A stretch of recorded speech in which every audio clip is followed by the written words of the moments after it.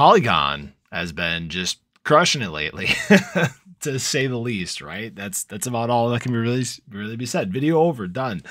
No, the Polygon has been awesome. It has been probably the best layer two scaling solution out there. You know, it's obviously crushing it for Ethereum, and there's a lot of potential that still, you know, is there for Polygon as we move forward into the future and into 2023.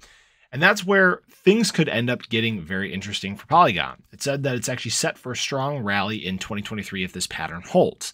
Now, sometimes we can actually look back on the past and see how things have played out before to kind of get an idea how things are going to look in the future. Well, if we look back at how the Ethereum chart played out back upon its, you know, big run up that it had, we can see the similarities between the two charts. We obviously have Matic on the left and Ethereum on the right. Now, the Ethereum chart we can see has a striking striking resemblance to what the current Matic chart is playing out as. Now, obviously there's there's a little bit of a difference, okay? When we compare Ethereum 2016, 2017 to Matic, you know, 2021, 2022. Obviously, the market is in a very different place, okay? A big thing that, you know, big thing that got the Ethereum price going was when the US dollar uh, went to its bearish reversal, right? When that started end up ended up going down.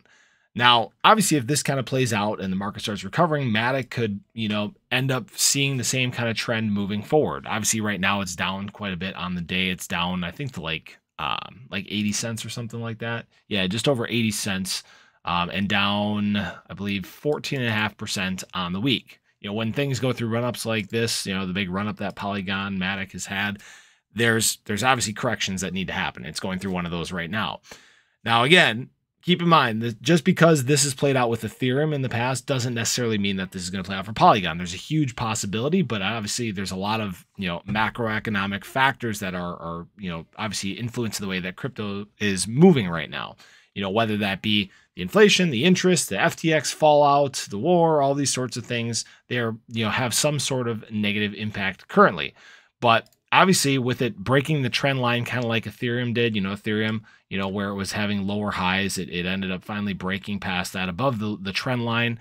Matic has done the same thing now. So there may still be obviously a good, good things to come. But obviously, you know, 2023 is still a you know what month and a half away month and a quarter away. So we still have time until that plays out. And just because it may perform well in 2023 doesn't need, necessarily mean that it's going to play well right at the start of 2023 so just keep that in mind. Temper your expectations. I know there's it's tough to really you know get on board with a lot of positivity right now just because i know that all these things are still here in the crypto market.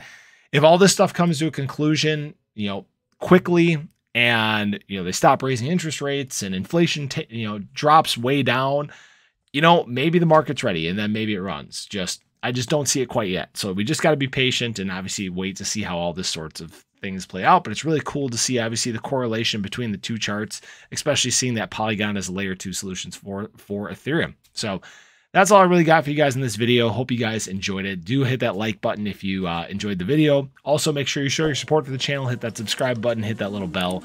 Again, you can stay updated anytime there's new content live here on the channel. Hope you guys have a great day. Have an awesome start to your week. By now, you're probably gonna almost have been through your uh, your work day. So hopefully, it was great for you. And I hope to catch you in the next one. Take care.